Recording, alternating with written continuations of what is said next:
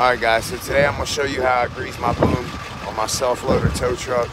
I got a dynamic bed, so equivalent uh, grease points are not the same on all booms. I mean, they're pretty typical in most spots, but there might be more or less on yours, so take it as you want.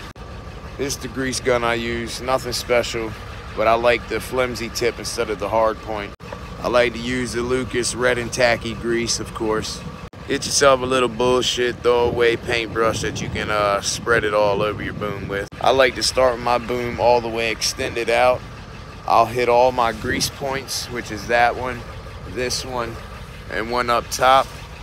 And then I'll just squirt grease everywhere, like so, all on the boom.